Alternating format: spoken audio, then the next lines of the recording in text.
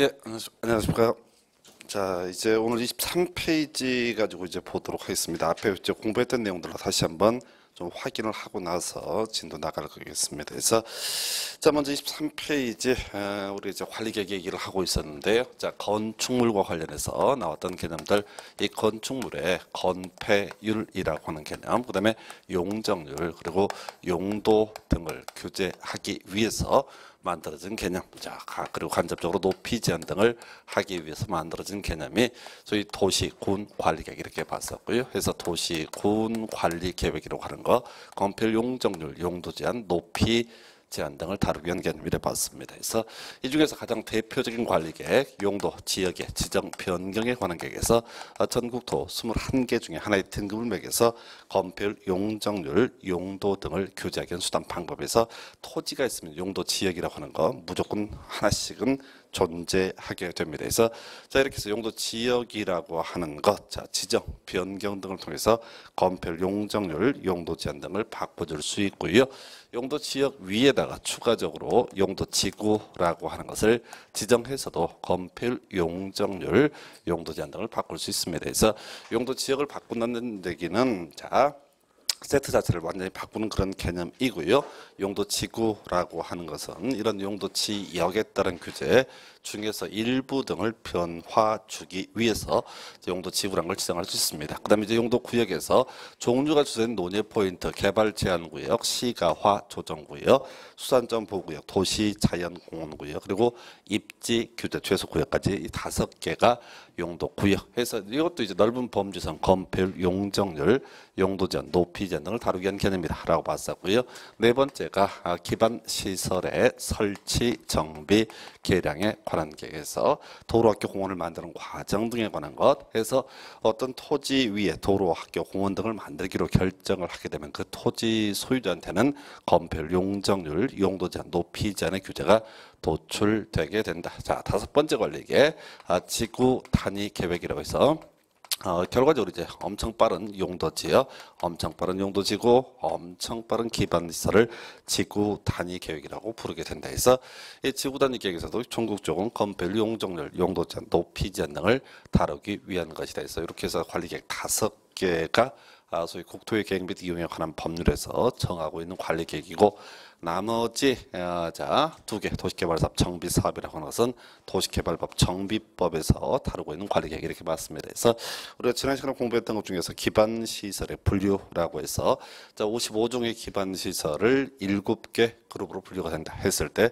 최소 남기하고 들어가실 거 환경 기초설에서 하수 폐폐 이렇게 갔습니다. 그래서 하수도 그다음에 수질 오염 방지 시설, 폐기물 처리 시설 그리고 폐 차장이라고 하는 거 이렇게 자네 가지는 수질 음, 환경 기초 시설로 분류가 되고 있다. 그 외 기반 시설의 세 분 중에서요 쉬었던 거 도로는 일곱 개 도로로 분류가 됐었고 광장은 다섯 개 광장으로 분류가 됐었다. 그래서 요즘에 이제 25, 26, 27 최근 3년 동안 이 기반 시설의 분류 문제하고 그다음에 세부 문제가 문제 구성이 이루어졌었고요. 그 외 여러분 교재 24페이지 가시게 되면 이런 기반 시설의 설치 기본적으로 입안 결정 과정을 거쳐야 된다. 이게 이제 기본 틀이 되겠습니다. 자, 그래서 어떤 도로 학교 공원을 만들기로 입안 결정 과정을 거치게 되면은 그걸 이름하여 도시 공계획 시설 이렇게 불렀었고요.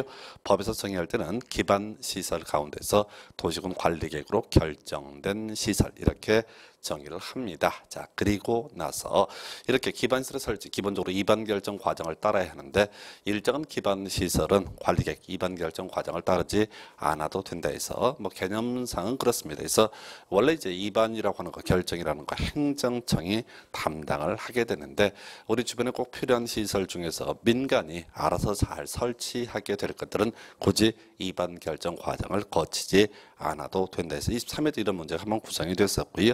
자 한편 자 우리가 어, 얘는 좀 따로 가야 되죠. 도로학교 공원을 설치하기로 결정을 했다 해서 도시 군계획 시설 결정 고시라고 하는 거 있습니다. 그럼 이제 실제 도로 학교 공원을 건설해 가는 과정 먼저 시행자의 지정 문제가 나와야 됩니다. 그래서 시행자 크게 행정청이 될 수도 있고 비행정청이 될 수도 있다라고 해서 시험에 나오는 쟁점 바로 자 비행정청 중에서 토지공사, 지방공사 등이 문제가 된다 해서 일반적으로 비행정청이 시행자가 되기 위해서는 면적 3분의 이상 소유하고 총수 2분의 1 이상의 동의를 받는 게 원칙.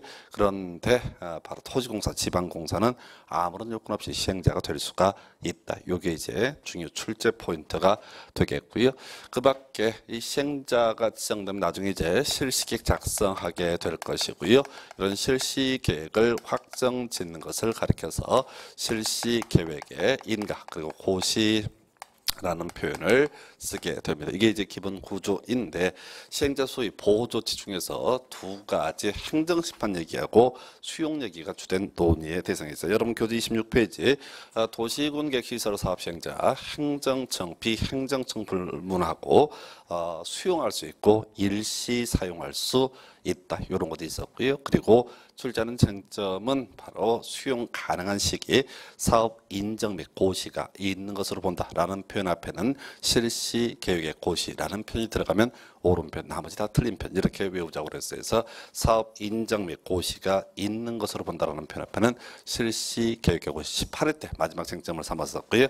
그다음에 이제 행정심판이라고 하는 거 행정청에 있어서는 큰 쟁점이 안 되고 행정청이 아닌 시행자가 행한 처분. 자 지금 이제 도시군 객시설 사업 시행자가 되게 되면은 수용권도 행사할 수 있고 일시 사용권도 행사를 할 수 있는데 이런 특권이 있는데 어떤 어, 사업 시행자의 처분에 대해서 불만이 있다. 근데 그 사람의 비행정청이다라고 하게 되면 소위 이제 직근 상급 행정기관이 없기 때문에 행정심판 제기가 곤란하단 말이죠. 그래서 행정청이 아닌 시행자가 행한 처분에 대해서 대해서는 바로 그 사람을 사업 시행자로 지정해준 지정한 자에게 행정 심판을 제기한다. 이 정도 되겠습니다. 그 다음에 이제 어, 실질적으로 어, 우리가 이제 도로학교 공원을 건설하는 과정 실시계획 작성에서 인가 고시에서 개념만 잡는 거죠. 직접 안 나오니까 실시계획이라고 하는 것은 구체적인 건설 계획을 얘기하게 된다. 그리고 이제 패턴 중에 하나 이런 게 있었죠. 인가된 실시계획을 변경을 하고자 한다 했을 때 원칙적으로 인가를 받아야 된다라는 전제에서 시험에 주로 뜨는 것은 인가를 요하지 않는 케이스. 절대 구체적인 항목은 외울 수 없어요. 그래서 한번 이제 이상한 지문이 구성이 되는데 그냥 패턴으로 어, 묶어서 보시겠고 그 다음에 이제 그 27페이지에 나와 있는 쟁점 중에 비용 부담 뭐 이렇게 법조문 복잡하게 되어 있는데 크게 가셔야 돼요. 그래서 사업 시행자라고 하는 영역 아, 두 가지죠. 행정청과 비행정청으로 구분할 수 있다 해서 일단 크게 두 가지 축입니다. 그래서 행정청의 시행자의 경우에는 아, 국 국가 지자체가 50%까지 보조를 할 수 있다. 요거 하나. 그리고 어, 이런 저런 애들한테 어떻다 손 내밀 수가 있다라고 하는 것. 이에 비해서 비행정청의 시행자는 3분의 1까지 보조를 받을 수 있지만은 절대로 손을 내밀 수가 없다. 요게 이제 기본적인 골격이에서 이 정도는 외우고 들어가셔야 돼. 뭐 그 책 본다고 해서 되는 게 아니라요. 자, 큰 틀인 그큰 틀의 그림을 잡는 게 필요합니다. 그래서 행정청의 시행자는 50%까지 보조 받고 게다가 추가적으로 이익을 얻는 자 그게 누가 됐든 간에 이런 저런 애들한테 어, 바로 비용을 좀 분담을 요구할 수 있다 이렇게 갔던 것이고 그 다음에 비행정청의 시행자의 경우에는 손 내밀 수가 없다는 거 이게 주된 논의의 대상에서 그 정도까지. 그 다음에 이제 공동구조는 그두 문제 있었는데 큰 쟁점 안 되고 여러분 교재 29페이지에 장기 미집행 도시군객 시설 부재 매수 청구 해서 어, 워낙 이제 이 범주가 넓은데 그 중에서 통계적으로 가장 많은 출제가 됐던 것 중에 하나가 소위 매수 청구 얘기죠. 그래서 기본 들어갑니다. 그래서 도시군객 시설 결정이 고시로부터 어, 10년이 경과하도록 사업이 시행되고 있지 않다. 그리고 세 번째 요건, 지목이 되다. 이런 세 가지 요건을 갖추게 되면 소위 매수 청구라고 하는 것을 할 수가 있다. 없다라고 해서 일단은 10년 경과 사업미 시행 지목되는 기본이고요. 그리고 추가해서 기억을 하실 만한 쟁점 중에 하나가 이거죠. 만약에 이런 세 가지 요건을 모두 갖췄어도 실시객 인가가 이루어진다라고 하면 어떻다? 이때는 매수 청구를 할 수가 없다라고 하는 것. 해서 자 10년 경과 사업미시행 지목되라 할지라도 매수 청구가 안 되는 것. 실시객 인가가 있을 때 즉 구체적인 건설 계획이 확정이 되면 착공을 해야 되기 때문에 이때는 아, 바로 매수 청구가 인정되지 않습니다. 그 다음에 이제 아, 매번 나오지만 답은 안 되는 질문. 자 토지에 대해서 매수 청구할 수 있다. 이건 너무 당연한 일이고 그 토지 위에 혹시 건축물이 있다라면 그 건축물도 매수 청구를 할 수가 있다 이렇게 갑니다. 자 매수 청구 있으면요 6월 이내 매수 여부를 결정을 해야 된다 해서 기본적으로 아, 이 매수 청구의 상대방이라고 하는 게 기본적으로 행정청이 일반적입니다. 시장군수 등 그런데 어, 사업 시행자가 정해진 경우다라고 하게 되면 그 사업 시행자에 대해서도 매수 청구를 할 수가 있다 이런 게 있었고요. 한편 매수 청구를 받은 매수 의무자는 6월 이내 매수 여부를 결정한다 해서 기본적으로 경우의 수가 크게 두 가지입니다. 그래서 매수 결정하는 경우도 있을 것이고 매수 거부를 결정하는 경우도 존재할 것이다 해서 매수 결정을 통지하게 되면요. 바로 이때는 얼마 2년 이내 2년 이내 매수를 해야 된다라고 하는 것. 그래서 주된 출제 포인트는 자, 매수를 함에 있어서 원칙적으로 현금 보상하는 게 일반적인데요. 어, 예외 있었죠. 바로 어, 사업 시행자가 지자체다라는 전제가 쌓이게 되면 어, 비업무용 토지 또는 이제 어, 토지 소유자가 아, 토지 소유자가 원하는 경우고 비업무용 토지로서 그 매수 가액이 3천만 원을 초과하게 되는 경우 이런 경우에는 어, 바로 도시 공객 시설 채권을 발행해서 매수 대금을 지급할 수 있다. 만약 채권 발행을 했다라고 하게 되면 10년의 범주 내에서 그 상환기간 정해지게 되어 있고 자세한 사항은 조례로 정하게 되어 있다. 그 밖에 매수 거부 결정이 있거나 매수 결정을 통지하고 2년 내 사주지 않았다라고 했을 때 원래 도시 군객 시설 부지에서는 개발 행위 허가가 금지가 돼야 함에도 불구하고 이때 예외적으로 개발 행위 허가를 해 줄 수가 있다라고 해서 이때 범주요 3층 이하의 단독주택 3층에 이제 1종 근세 2종 근세는 시험에 안 나오고 그다음에 공작물 등의 설치를 허가를 해 줄 수가 있다. 요 내용들에서 소위 매수 청구에 관한 부분은 워낙 많은 출제가 이루어지고 27회 때는 지금 이제 일반적으로 계속 논의가 되었던 행정청이 매수 의무자가 되는 경우 말고 바로 비행정청이 매수 의무자가 되는 경우를 갖고 쟁점을 삼았습니다. 그 외에 32페이지 가게 되면은 27에서 한번 나왔었는데 쟁점은 안 되고요.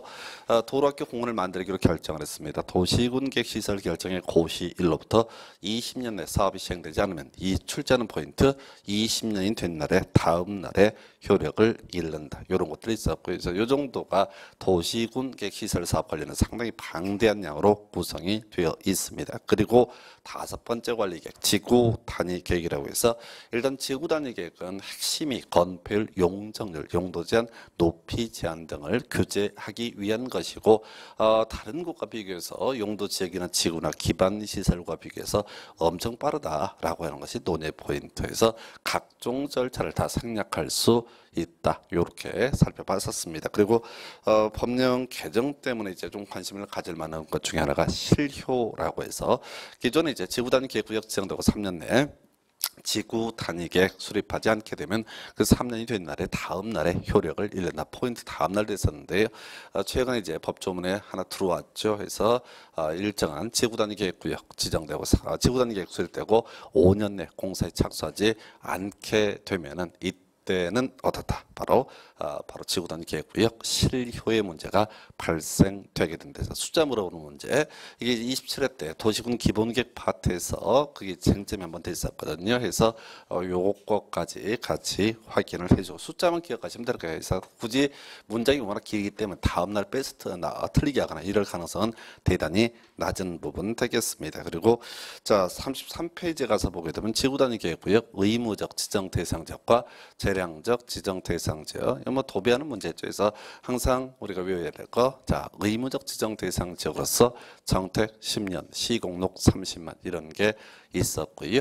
나머지 다 재량적 지정 대상자. 그래서 수험생 입장에서는 지정해야 한다라는 표현이 있으면 그 앞에 정택 10년, 시공록 30만 있으면 옳은 표현, 없으면 틀린 표현 한편 지정할 수 있다라는 명제가 있게 되면 최소한 법은 없으면 된다. 정택 10년, 시공록 30만만 없으면 된다 해서 뭐 말은 쉬운데 거의 대부분의 문제 한 반 정도가 이 얘기를 가지고 답을 보고 출제가 이루어지고 있습니다. 그래서 하여튼 뒤쪽 보시는 것들이 지혜로운 모습이 아닌가 싶습니다. 그 정도까지 보셨고요. 그 다음 페이지 가서 34페이지 지구 단위 계획. 자, 26개 뜨던가요? 기준, 기준. 그래서 우리 이제 공법이 기준 많이 나오는데 무조건 기준은 국토 교통부 장관이 정한다. 이게 논의의 대상이 되게 될 것이고요. 그리고 내용 관련해서 반드시 포함되어야 될 사항 기건해서 기반 시설의 폐지와 규모 요 얘기하고요. 세트 건축물의 건폐율 용적률 용도 제한 높여 최고한도 최저한도 표현들은 약간씩 달라질 수 있는데 기본 축은 뭐가 된다? 건폐율 용적률 용도 제한 높 이 제한이라고 하는 거. 요걸 이제 절대 놓치면 안 돼요. 이게 좀 이따 이제 지구 단위로 완화시킬 수 있는 게 뭐냐 했을 때 건폐율 용적률 용도 제한 높이 제한 높이 제한 이런 표현들 나오게 되거든요. 그래서 결과적으로 지구 단위 계획은 크게 네 가지 건폐율 용적률 용도 제한 높이 제한 등을 하기 위해서 만들어진 개념. 그 밖에 행위전이라고 그래서 자 토지가 있으면 일단은 우리가 지금 지구 단위 계획을 논하고 있지만 토지가 있으면 항상 용도 지역이라고 하는 개념이 전제가 되게 됩니다. 그래서 자 이렇게 가는 거죠. 어떤 토지 위를 보게 되면 자 건폐율 용적률 용도 등을 규제하기 위해서 용도 지역이라고 하는 개념이 전제가 돼야 할 것이고 그리고 나서 그리고 나서 자 그 위에 혹시 지구 단위 계획이 수립이 돼 있다라고 하게 되면 소위 용도 지역에 따른 규제와 지구 단위 계획에 따른 규제가 충돌했을 때 그때는 지구 단위 계획을 우선 적용한다 해서 우리가 이제 지난주에 그 예제 가지고 봤었죠. 그래서 목욕장을 불허하고 있는 자 더 이상 갈 것도 없어요. 그러면 지구 단위 계획으로 목욕장을 불허하고 있다 금지하고 있다라고 하면 이때는 지구 단위 계획이 용도 지역보다 우선 적용이 되기 때문에 목욕장 설치할 수 없다라고 해서 20회 때 좀 어렵게 사례형으로 구성이 됐었고요. 그 다음에 이제 행위 제한의 완화라고 해서 총 9개 정도까지 세분할 수 있습니다. 근데 다 외울 수 없고요. 기본이 뭐냐면 건폐율, 용적률, 용도 제한, 높이 제한, 높이 제한 그리고 아, 좀 특이했던 것이 주차장 설치 기준 완화 적용을 할 수가 있다라고 해서 뭐 다 외울 수는 없고요. 하여튼 기본적인 축 건폐율, 용적률, 용도 제한, 높이 제한, 높이 제한, 주차장 설치 기준 요 정도까지 기억하시면 좋겠습니다. 그 외에 최근에 이제 문제 구성하고 있는 것 중에 하나가 기부 체납을 하게 되면은 건폐율과 용적률, 높이 제한, 완화 적용을 할 수가 있게 되는데요. 자 어, 얼마까지 완화 적용을 할 수 있는가라고 하는 숫자 물어보는 문제가 연속 출제가 됐습니다. 근데 이 문제는 사실은 자 출제위원들 입장에서는 그냥 틀리라고 내는 문제에서 공식을 주어도 거기 맞춰서 풀기가 되게 어려운 형태의 문제입니다. 그래서 지금 지구 단위 계획에서 보통 한 문제 내외가 출제가 된단 말이에요. 많으면 두 문제. 그랬을 때 이 건폐를 얼마까지 완화 적용, 용적률 얼마까지 완화 적용. 요건 공부가 다 됐을 때 그 다음에 이제 심심하면 외우시면 좋은 거고 일단은 기본적인 틀을 잡으실 것. 그 외에 오히려 이제 기억할 만한 게 지금 이제 지구 단위 계획으로 다 설명은 하지 않았지만은 건폐율, 용적률 등 완화 적용할 수 있는데요. 그게 이제 지구 단위 계획이 도시 지역이든 도시적 외지역이든 불문하고 건폐율은 1.5배까지, 용적률은 2배까지 완화 적용할 수. 그래서 최대 한도 완화의 최대 범주라고 하는 거 지적해 봤었고요. 그리고 주차장 설치 기준 한옥마을 차 없는 거리 조성을 목적으로 했을 때 그 목적이 중요한 게 아니라 자 주차장 100%까지 완화 적용을 할 수가 있다. 요 정도의 내용들이 우리가 지난 시간에 주로 공부했던 어, 도시공 관리 계획의 내용이 되겠습니다. 그래서 바로 문제 가서 몇 개 확인해 볼게요. 46페이지부터 어, 최근 문제, 5년간 문제를 가지고 확인을 해 보겠습니다. 그래서 자 26번 문제인가요? 46페이지 26번 문제.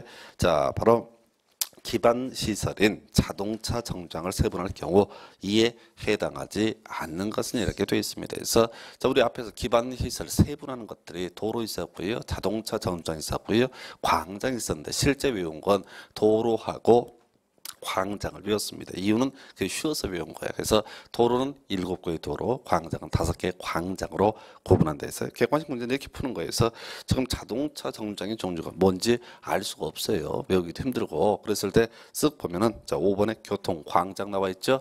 그럼 최소한 이 교통 광장이라고 하는 것은 자동차 정장의 종류는 될 수가 없다. 해서 항상 객관식 문제 접근하실 때 이 자동차 정장이 나왔다고 해서 그걸 처음 외우는 게 핵심이 아니라 결국은 그세 개를 개를 비교하는 형식으로 문제 구성이 이루어진다는 거. 요걸 꼭 기억을 하셔야 돼. 그래서 객관식 문제를 풀어가실 때는 음, 아는 건 확실하게 모르는 건 과감하게 몇 개라도 정확히 외우셔야 돼서 어, 도로도 외우고 광장도 외우고 자동차 정정도 외우고 어, 이런 머리들 거의 없습니다. 거의 불가능해요. 그래서 이거 저거 하다 보면 나중에 뭐가 문제야 전혀 감을 잡지 못합니다. 그리고 이 문제를 통해서 우리가 눈치를 채야 되는 것은 자동차 정정의 종류가 뭐가 있다 이런 게 중요한 게 아니라 딱 티가 난다고 대놓고 문제를 준다고요. 그래서 자 26. 번 문제 답은 5번이고요. 27번 문제.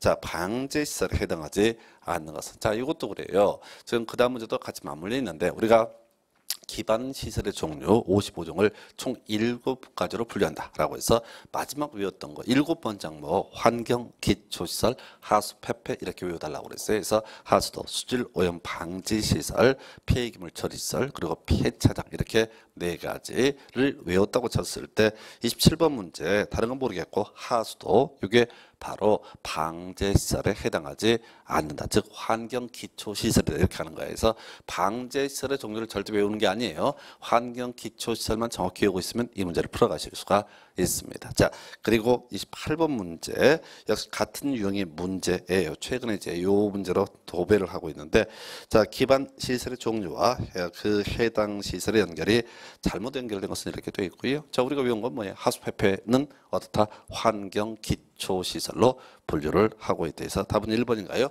폐차장이라고 하는 것은 환경 기초 시설에서 지금 이제 세 문제를 보셨 특히 이제 27번, 28번 문제는 똑같은 문제예요. 그래서 우리가 환경 기 초시설 제일 뒤에 숨어 있단 말이에요. 그래서 어, 보통 수험 출제위원들이 답을 뽑을 때는 그 양들이 있으면 일곱 개면 일곱 번째 것을 가지고 쟁점을 삼는다고요.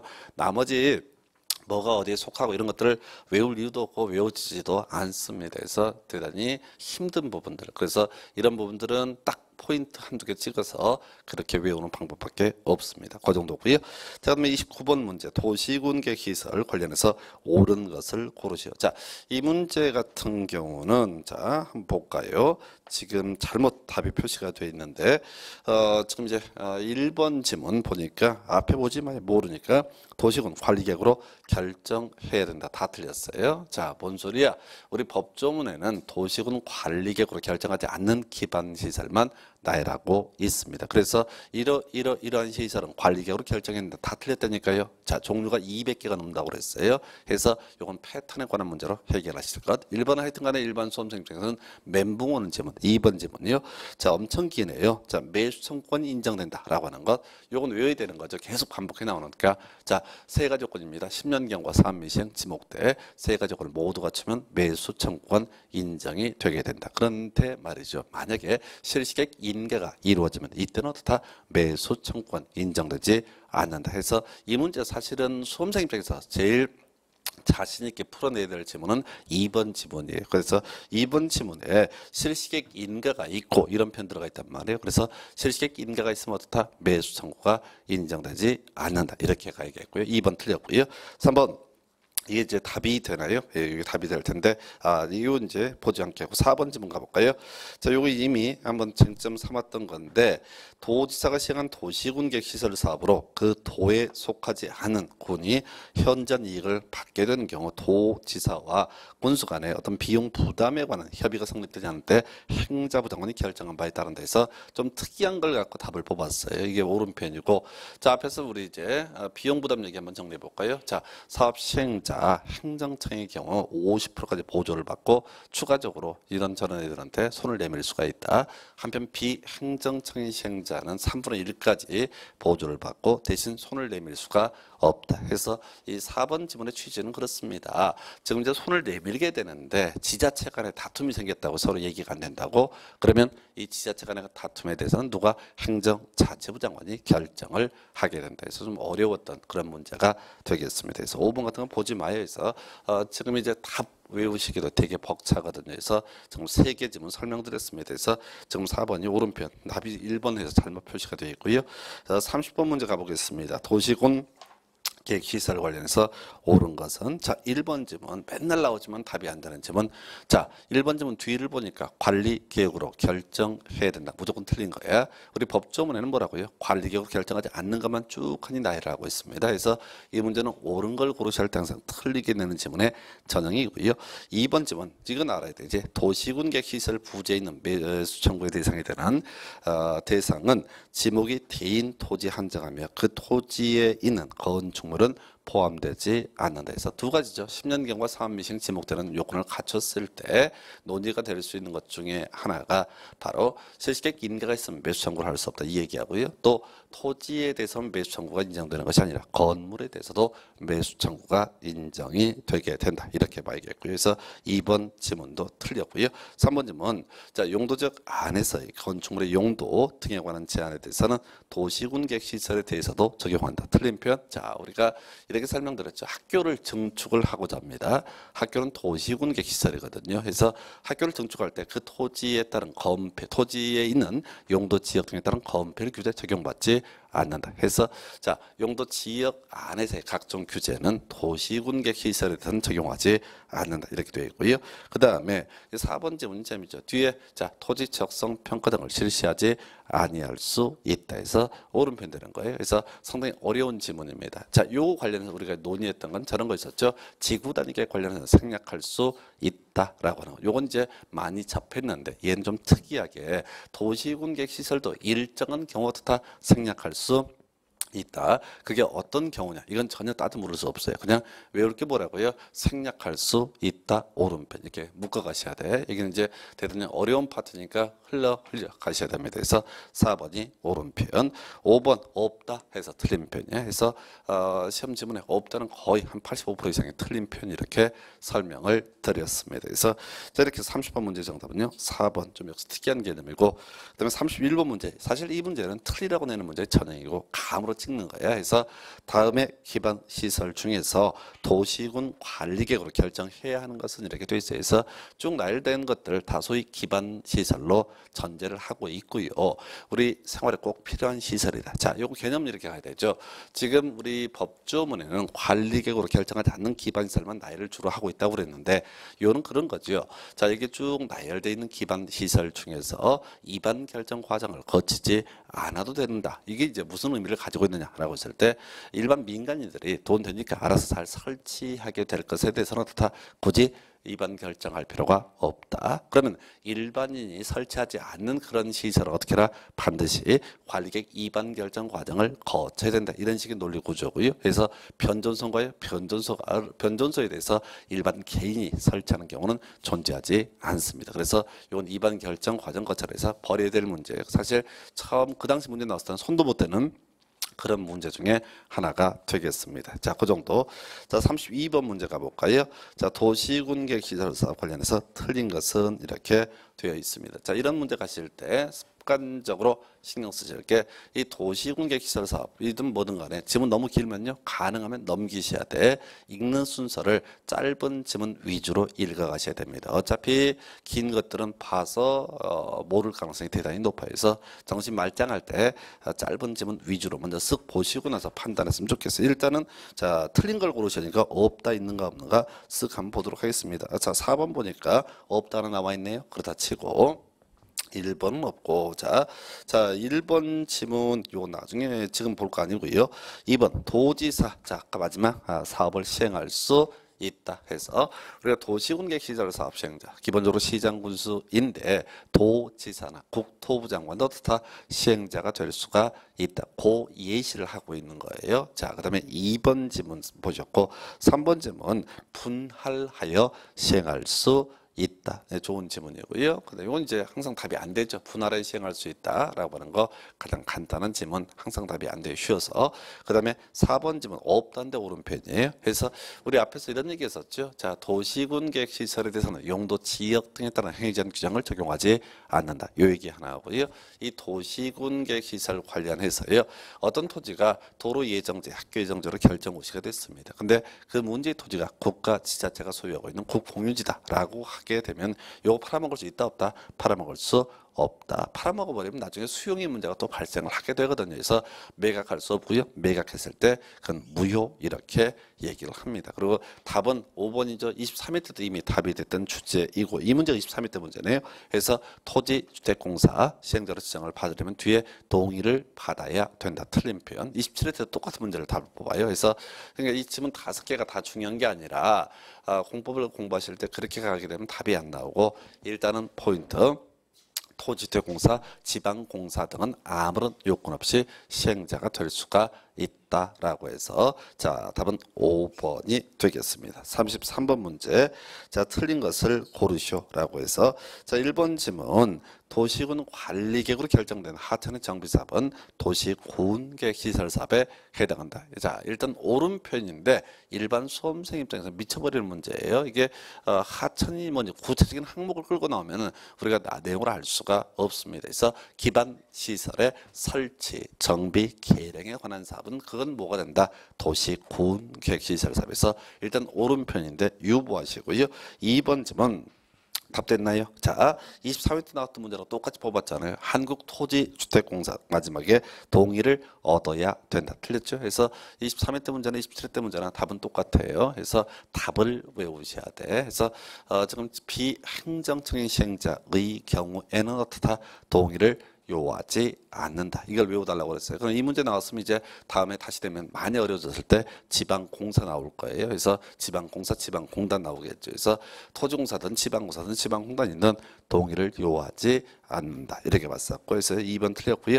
어, 3번 지문 자 사업 시행자 아, 수용할 수 있다. 그럼 여기서 나오는 쟁점은 수용이 중요한 게 아니라 아, 바로 여기서 문제를 삼을 게 뭐냐면 수용할 수 있다가 나오게 되면 아, 사업 인정 및 고시가 있는 것으로 본다. 그 앞에 뭐 있어야 돼? 실시 계획의 고시 이렇게 들어가겠고요.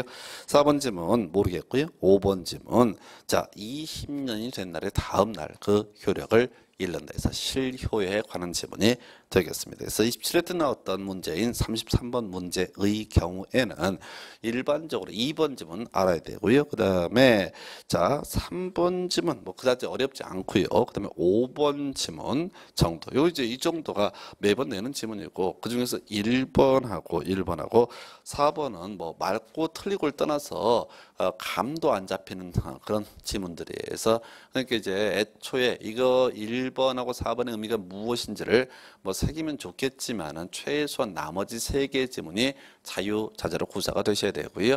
그 다음에 세 개만 알아서 답풀때 아무런 지장이 없어요. 그래서 어, 문제는 앞으로 뭐, 뭐 모의고사를 보든 뭘 하든 간에 답 고르는 훈련을 하셔야 돼요. 답 고르는 훈련. 내용이 왜 틀리고 왜 맞고를 따져묻는 건 아무런 의미를 가질 수가 없습니다. 그래서 그 정도 34번 문제 가겠습니다.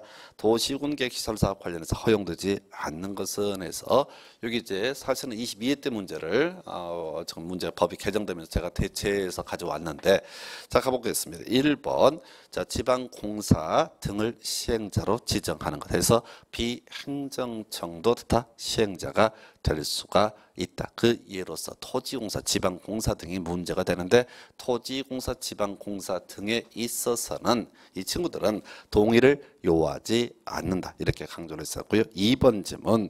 자, 보니까 조건부로 실시계획을 인가하는 거 옳은 편이고요. 자, 어, 인가가 됐든 허가가 됐든 계속해서 반복됩니다. 법조문은 항상 조건부로 인가할 수 있다. 이런 것들 쟁점 안 되고요. 그다음에 자 분할사하여 실시계획 작성해서 앞에서 우리 도시군계획 시설사업 분할 시행할 수 있다 이 얘기 있었고요. 그래서 실시계획도 분할해서 작성을 할 수 있다. 큰 쟁점 안 돼요. 자 답이 4번이 되나요? 우리가 행정심판 관련해서 행정청이 아닌 시행자가 행한 처분에 대해서는 누구한테 지정한 자에게 행정심판을 제기한다라고 했었거든요. 그게 쟁점이라고 했단 말이에요. 그래서 22회 때 나왔던 문제 4번 점은 행정청이 아닌 사업 시행자의 처분에 대해서 그 사업 시행자를 피청구인으로 해서 행정심판 제기 틀렸다고 피청구인은 누구한테 제기를 하느냐 이런 얘기라고요. 해서 이때는 바로 그 사람을 사업 시행자로 지정해준 지정한 자를 피청구인으로 해서 바로 어떻다 행정심판을 제기할 수 있다. 요 정도고요. 5번 질문 겁나 길죠. 제일 뒤를 봐요. 일시 사용하는 거. 끊어가셔야 된다고 수용할 수 있다. 일시 사용할 수 있다. 그리고 수용 관련해서는 사업 인정 및 고시가 있는 것으로 본다라는 표현 앞에는 뭐가 실시 계획에 고시라는 표현이 들어갔을 때 오른편 그 정도까지 보겠습니다. 그래서 자 그래서 34번 문제 정답은 4번 이렇게 봤었고요. 자 35번 문제 자 갑은 행정청이 아닌 자로서 도시군객 시설 사업을 시행하는 자이다. 옳은 것은 읽지 마요. 그럼 이제 문제를 보면 답을 딱 떠올리셔야 돼. 자, 갑은 행정청이 아닌 시행자다. 비행정청이다. 관련한 생점들 정리해 볼까요? 자, 비행정청 중에서 토지공사, 지방공사는 아무런 요건 없이 시행자로 지정을 받을 수가 있다. 그리고 행정청과 달라지는 부분이 바로 비용 부담이다. 해서 행정청이 아닌 시행자의 경우 3분의 1까지 보조를 받을 수 있고 대신 누구한테 손 내밀 수는 없다라고 하는 거. 뭐이 정도 끝이에요. 그래서 1번 지문인가요? 국가 지자체는 법령에서 정한 소요 비용의 3분의 1의 이하의 범위 내에서 사업 비용을 보조 이용자할 수 있다. 답이 1번 되는 거예요. 그래서 지금 각 토픽들이 뜨게 되면 이런 문제 되게 특히 도시군 객 시설 사업 파트가 아주 어려운 파트에 문제 풀 때 양들이 많아서 힘든 부분 중에 하나인데 문제는 어떤 문제가 딱 뜨게 되면 쟁점을 떠올리셔야 된다고 이 객관식은요 그렇게 에, 한 거지. 그 나머지 지문들을 그냥 하염없이 읽고 있으면요 뭔 소리인지 몰라요. 책을 방금 봐도 가, 무슨 소리인지 감을 못 잡습니다. 그래서 자 답은 1번 나머지 볼 필요 없어 다 틀린 거야.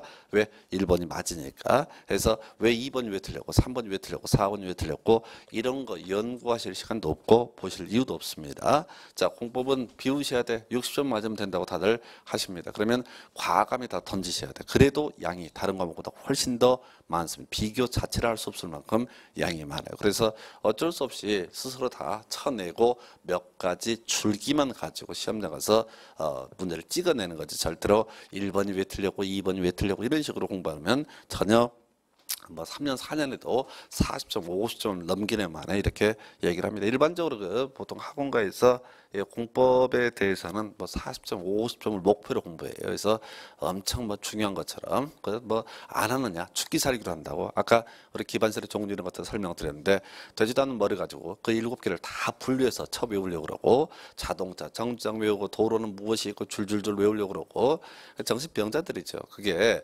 1년 2년 사이에 그걸 외울 수가 없어. 학원 강사 제가 한 15년 하는데 아직까지 다 못 외웠어 그를.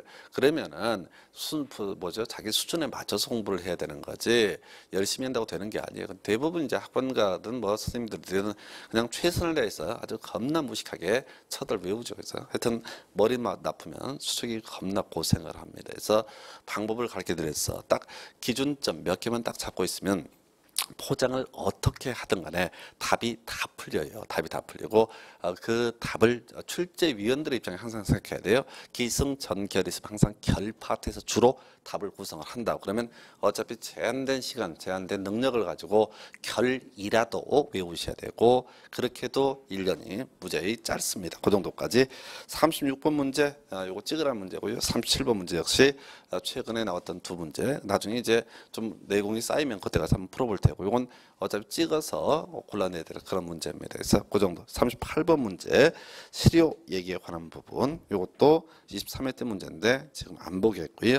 자 39번 문제 매수 청구 40번 문제 매수 청구 41번 문제 매수 청구에서 최근 5년 동안 세 문제 구성이 됐네요. 자 물론 이 회차에 나오지 않았을 때도 항상 지문에 그 있었잖아요. 10년 경과 사업 미신 지목 때 이런 세 가지 요건을 가지고 실시객 인가가 있으면 매수 청구를 할 수 없다 또는 자 토지뿐만 아니라 건축물에 대해서 매수 청구를 할 수 있다. 뭐 이런 것들을 가지고 끊임없이 구성이 된다고 답이 되든 안 되든 무조건 나오는 지문 중에 하나가 이 매수 청구 제도 이미 5년간 문제할 때 두개 지문 보셨고 자 세 문제는 직 접적으로 이 주제를 가지고 전체를 문제 구성을 하고 있습니다. 그래서 39번 문제 매수 청구 틀린 것을 고르시오라고 지목 대라고 전제를 하고 있습니다. 그래서 1번 지문 매수 의문자가 매수하기로 결정한 토지 자 3년 내 매수해야 된다 해서 틀렸죠. 2년 이내 매수를 해야 된다. 그래서 얘는 워낙 출제가 많기 때문에 숫자까지 그러니까 깨알같이 질문을 하고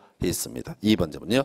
지자체가 매수 의무자인 경우 원하는 경우에는 도시 군객 시설 채권을 발행해서 그 매수 대금을 지급할 수 있다. 오른편 3번 점은요.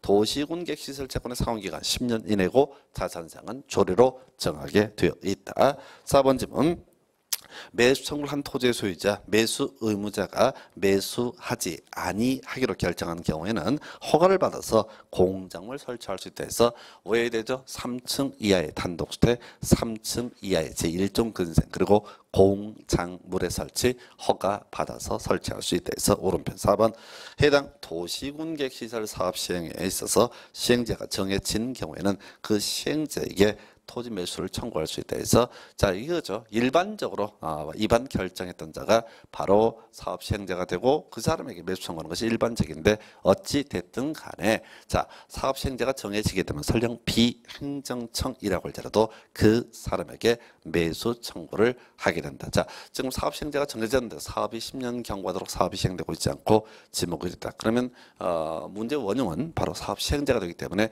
그 시행자에게 매수 청구를 할수 있다 이런 취지고요. 40번 문제예요. 자 지금 어, 국토기획법상 매수 의무자인 지자체가 매수 청구를 받은 장기 미집행 도시군객 시설 부지 중 지목이 대인 토지를 매수할 때 그 설명 틀린 것을 고르시오라고 되어 있습니다. 그래서 일단 1번 집은 토지 소유자가 원하면 도시군객 시설 채권을 발행해서 매수대금 지급할 수 있다. 있다라고 해서 매번 나오는 거죠. 그래서 어, 이 외에도 비업무용 토지로서 그 가액이 3천만 원을 초과하는 경우 그 3천만 원을 초과하는 부분에 대해서는 토지 소유자가 싫다고 해도 강제로 채권 보상을 할 수가 있습니다. 2번 점은요. 자, 상환기간 10년 이내다. 쟁점 안 되고 3번 뭘 넣어야 돼요? 자, 하나 정도 지문은 비워 두셔야 돼. 이게 제일 지저분하니까. 4번 지문 비업무용 토지로서 그 매수대금이 2천만 원을 초과하는 경우 요거 틀렸단 말이지. 3천만 원을 초과할 때 그 초과하는 금액에 대해서 도시군 계획시설 채권을 아, 발행할 수 있다. 이렇게 가야 될 것이고요. 5번 질문 매수 의무자가 매수하기로 결정한 토지 매수 결정을 알린 날로부터 2년 내 매수를 해라. 이 지문이 그 위에 가서 26회 때 1번 지문 3년에서도 틀리게 구성을 합니다. 그래서 하여튼 계속해서 어, 보셨고 여기서는 이제 3번 지문 매수 가격에 관한 부분은 버리십시다. 너무 길기 때문에 외우기 어려워요. 공익 사업을 위한 토지 등의 취득 및 보상에 관한 법률을 준용한다라고 되어 있는데 이거 틀리게 나오기도 하는데 일단은 요거 비우십시다. 그 다음에 41번 문제. 자, 그동안 문제가 거의 대부분 묶어서 구성을 했어요. 주로 매수 문제가 지자체인 경우를 상정을 했었는데 이제 27회 때 문제 약간 문제를 틀어놨어요. 그래서 갑 소유의 토지는 A광역시 B구에 소재한 지목이 대인 토지고 토지주택공사를 시행자로 해서 도시군 객시설을 하기 위한 사업을 하기 위한 그런 부지다라고 되어 있어요. 그래서 논의 핵심은 그렇습니다. 10년 경과 사업 미싱 지목대라는 요건을 충족을 했을 테고 문제는 이때 아, 사업 시행자가 누구로 정해져 있다? 토지 주택공사로 정해져 있다. 이게 논의 대상. 그래서 기존 문제와 다르게 27회 때 문제의 경우에는 비행정청이 시행자가 되는 경우 시행자가 정해지게 되면 그 사람에게 어떻다 매수 청구를 할 수가 있다 해서 이게 26회 때 5번 지문 그 위에 몇 번이야? 39번 문제 5번 지문을 보게 되면은 자 시행자가 정해지게 되면 그 사람에게 매수 청구를 할 수 있다. 요 주제를 가지고 27회 때 문제가 약간 이제 응용해서 들어가게 됩니다. 그래서 1번 지문부터 가볼까요? 자 이 갑이라고 하는 토지 소유자는 누구한테? 아, 바로 사업 시행자에게 매수 청구를 할 수 있습니다. 구청장이 아니에요. 사업 시행자는 누구라고 했으니까 토지 주택공사라고 했으니까 이때는 주공한테 매수 청구를 할 수가 있다. 2번 질문이요. 자, 갑이 매수 청구를 할 수 있는 대상은 토지이며 항상 나오는 거죠. 건축물은 포함되지 않는다. 아니죠. 만약에 매수 청구가 이루어진다라고 하게 되면 토지 그리고 건축물도 포함해서 매수 청구를 할 수가 있다. 3번 집은 갑이 원하는 경우 자 매수 의무자는 도시 군객 시설 채권을 발행해서 대금을 지급할 수 있다 이게 함정이어서 약간 자 왜냐면 우리가 비 비업무용 토지로서 자 비업무용 토지로서 3천을 초과하는 경우 그 초과하는 금액에 대해서는 원치 않아도 강제로 채권 보상할 수 있었고 그 다음에 원하는 경우 역시 채권 보상할 수 있었습니다. 근데 문제는 얘는 사업적 매수 의무자가 누구야? 토지 주택공사 즉 지자체가 아닙니다. 이 도시군객시설 채권이라고 하는 것은 지방채 지방채 해서 매수 의무자가 지자체일 때 한정해서 어떻다 매수 청구를 할 수가 있다 이렇게 가게 될 것이고요. 4번 질문 매수 의무자는 매수 청구를 받은 날부터 6월 이내 매수를 결정해서 가백에 통지를 해야 된다 해서 답은 4번이 되는 거예요. 광역시장은 쟁점이 되지 않습니다. 그래서 일단은 결과적으로 이 문제는 실제 시험 현장에 들어가게 되면 아, 3번, 4번 싸움을 붙였던 그런 케이스에서 자, 이 문제 논의 쟁점 뭐 답은 이제 아, 5번 지문도 가볼까요? 우리가 아, 매수 거부 결정 등이 있으면은 3층 이하의 단독주택, 3층 이하의 제1종 근생시설, 3층 그다음에 공작물의 설치 등 허가를 할 수 있다 해서 이게 이제 다세대 주택이라고 해서 틀린 거라고요. 다세대 주택은 뭐가 됩니까? 공동주택의 일종해서 공동주택은 허가 대상이 될 수가 없 다라고 해서 답은 4번이 되겠습니다. 그래서 그 정도. 자 이제부터 42번부터 지구 단위 계획 구역 관련한 문제 나오는데 일단은 풀 수 있는 문제들을 보게 되면은 정말 간단해요. 지정해야 한단지 할 수 있단지를 가지고 아예 도배를 해버립니다. 그래서 1번 질문 가볼까요? 뒤에 지정할 수는 없다라고 돼 있죠. 더 이상 볼 것도 없어 틀린 거야. 없다는 틀렸다고 그랬어. 아까 없다 중에 맞는 케이스 특이한 케이스고요. 없다는 다 틀렸어. 만약에 지정할 수 있다. 그러면 이 집은 오른편이 되는 거예요. 왜? 그 앞에 정택 10년, 시공록 30만 없으니까 오른편 이렇게 가는 겁니다. 그 다음에 2번 지문이요. 자, 지구 단위 계획구역 결정 관리 계획에 의해 될 것이고 지구 단위 계획 결정은 그러하지 않다 해서 또 항상 똑같은 거죠. 용도 지역의 지정 변경 관리 계획으로 결정해야 되고요. 용도 지구의 지정 변경도 관리 계획, 용도 구역의 지정 변경도 관리 계획, 기반 시설의 설치 정비 계량도 관리 계획, 그리고 지구 단위 계획구역 그리고 지구 단위 계획 각각 어떻다 관리 계획으로 결정한다 해서 틀린 표현 답은 아니고요. 3번 지정될 수 있다 나와 있죠. 그 앞에 뭐 없으면 돼? 정택 10년 시공록 30만 없으니까 이 표현은 어떻다? 옳은 표현이 된다 이런 의미가 되겠어요. 그래서 아주 까다로운 형태의 문제인데 답은 되게 쉽게 맞출 수 있었고요. 시킨 대로 하게 되면 4번 지문의 경우 뒤에 지정해야 된다라고 돼 있죠. 그럼 지정해야 한다는 표현 앞에는 뭐 있어야 돼? 정택 10년 시공록 30만 있어야 좋다. 옳은 표현 해서 아니잖아. 그러니까 이 지문은 다 틀린 표현이 된다. 이렇게 봐야겠고요. 5번 질문. 자, 아, 아직 주요 쟁점 안 나오는데 아까 우리 강조 드렸습니다. 그래서 어, 건폐율은 이런저런 이유로 1.5배까지 완화 적용. 용적률은 최대 얼마까지? 2배까지 완화 적용. 아직은 쟁점이 안 되는데 과거 문제를 분석하면 최근의 문제를 분석을 하게 되면 앞으로 새롭게 내일 만한 것 중에 하나가 바로 건폐율은 최대 얼마까지? 1.5배. 용적률은 최대 얼마까지? 2배까지 완화 적용을 할 수가 있다. 이렇게 가셔야 되겠습니다. 그 정도로 보셨고요. 그 다음에 그래서 아까 우리 해야 한다 할 수 있다 가지고 답은 3번 이렇게 정리합니다. 43번 문제 지구 단위 계획 틀린 것은 자 1번 좀 맨날 던져주는 거지 맞든 틀리든 맨날 나오는 거 지구 계획은 도시군 관리 계획으로 결정한다. 당연한 얘기고요. 다만 각종 절차를 어떻게 할 수 있다? 생략할 수 있다. 이런 것들이 하나의 논의 포인트. 2번 집은 뒤에 봐야 돼. 지정해야 된다 라고 돼 있죠. 그럼 뭐 그 앞에 뭐 있어야 돼? 정택 10년, 시공록 30만만 있으면 된다고요. 근데 지금 자, 이 지정해야 한다라는 표현 앞에 뭐가 없어? 정택 10년도, 시공록 30만도 없습니다. 그래서 2번이 틀린 거예요. 답은 이렇게 쉽게 뽑힌다니까요. 그 앞에 문제든 그 뒤에 문제든. 자, 나머지 항목에서 뭐라고 얘기를 하고 이런 걸 떠나서 답을 뽑는 건 되게 간단해요. 지정해야 한다냐, 할 수 있다냐. 이것만 갖고 딱 하나의 공식으로 거의 두 문제가 벌써 커버가 되고 있습니다. 그래서 자, 2번이 틀렸죠. 3번 질문 지정될 수 있다라는 표현 나와 있어요.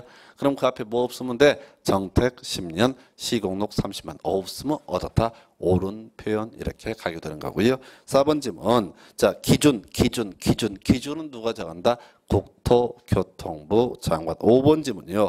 모르겠네요. 자, 근데 뒤에 보니까 지정해야 된다라고 돼 있죠. 그럼 그 앞에 뭐 있어야 돼? 정택 10년, 시공록 30만. 그래서 택 택지 개발 사업 10년 하기 때문에 오른편에서 어, 결과적으로 5번도 오른편. 그래서 지금 이 문제 어, 의무적 지정 대상 지역하고 재량적 지정 대상 지역을 따져묻는 문제가 그렇게 어렵고 제일 힘듭니다. 근데 애초에 외우실 때 의무하고 재량을 정확히 구분을 하고 있고 절대 앞을 읽으면은 얘기에 빠져들어서 놓치고요. 뒤만 보시는 거예요. 해야 한다는지 할 수 있다는 걸 가지고 분석하는 형태로 접근을 하셔야겠습니다. 그 정도 44번 문제 지구단 계획 등 틀린 것을 고르시오라고 되어 있어요. 그래서 일단은 자 없다 있나 볼까요? 없다 없네. 자 1번 전부터 가볼까요? 주민은 지구단 계획 뒤에 제한할 수 있다 해서 자 우리가 이제 관리계획은 행정청이 입안을 합니다. 근데 이 관리계획 중에서 마을 전체 이익과 관련돼 있는 기반 시설의 설치 정비 계량 그리고 지구 단 계획 그리고 새롭게 추가된 것이 산업 유통 개발 진흥적 이런 것에 대해서 제한을 할 수가 있다. 라고 하는 거 오른편 되겠고요. 2번 지문이요. 자 마지막에 지정될 수 있다 나와 있어요. 그럼 지정될 수 있다는 표현 앞에는 뭐만 없으면 돼? 정택 10년 시공록 30만 없으면 어떻다? 이 표현도 오른편. 3번 지문요. 시장군수가 입안한 지구단 계획은 시장 군수가 결정한다 라고 돼 있죠. 해서 요것도 오른편. 자, 우리 앞에서 도시군 관리계획 결정은 주로 누가 한다? 시, 도지사, 대도시, 시장. 근데 시장 군수가 입안한 지구단 계획은 직접 시장 군수가 결정을 하게 된다. 이런 것들을 공부했던 기억이 있습니다. 그 정도로 봐주시고요. 그래서 어, 지금 이제 답은 아, 몇 번이었어? 보니까 아 4번 지문인가요? 이게 틀렸구나. 수립 기준 기준은 누가 정한다? 국토교통부 장관. 근데 시도지사가 어쩌고 저쩌고 해서 틀린 편에서 하여튼 답 아주 쉽게 구성을 하고 있고요. 자 5번 자 지정될 수 있다 나와 있죠. 그럼 그 앞에 뭐만 없으면 돼? 정택 10년 시공록 30만만 없으면 오른편. 즉 우리가 소위 재량적 지정 대상 지역 등 너무너무 양이 방대합니다. 손도 댈 수 없을 만큼 많습니다. 그러나 의무 하나만 정확히 외우고 있으면 지문들 다 풀릴 수 있어요. 그 정도 봐두시고요. 45분, 46분 지금 안 볼 거예요. 이 문제가 소위 이제 아주 엿먹으라는 문제. 그래서 기부 체납하면 건폐를 얼마까지 완화 적용을 하는가? 기부 체납하면 용적률 얼마까지 완화 적용을 하는가? 비우셔야 돼. 이걸 보려고 욕심을 부리게 되면 게임 끝납니다. 그래서 야 이럴 시간에 차라리 계속 전체 그림 생각해야 돼. 지구 단위가 뭘 완화할 수 있다? 건폐율, 용적률, 용도 제한, 높이 제한, 그리고 또 높이 제한 주차장 설치 기준 등 완화 적용할 수 있다. 비슷한 문제 유형으로서 지구 단위 계획에 반드시 포함돼야 할 사항 기건해서 기반 시설의 배치와 규모 그리고 세트 건축물의 용도 제한 건폐율 용적률 높이의 최고한도 최저 한도 이런 내용들을 기억하는 게 좋겠습니다. 그 정도 47번 문제 답이 역시 또 잘못 표시가 돼 있어요. 이게 지금 거기 숫자는 100이라고 해서 100%까지 완화 적용한다 해서 한옥마을 차 없는 거리 조성을 목적으로 하게 됩니다. 자 그러면은 아예 주차장이 필요가 없기 때문에 주차장 설치 기준 100%까지 완화 적용을 할 수가 있다. 해설은 맞게 되는데 답이 잘못 표시가 돼 있어요. 그래서 47번 문제 정답은 5번 이렇게 정리를 하겠습니다. 자 이렇게 해서 지금 이제 관리 계획 관련한 부분을 복습을 좀 해봤고요. 자 지금 이제 개발 행위 허가 가야 되는데 그에 앞서서 우리 빼먹은 것 중에 하나가 여러분 자료 5페이지인가요? 바로 도시군 기본계획 그리고 좀 이따 광역도시계획 여기서부터 이어서 설명을 드리도록 하겠습니다.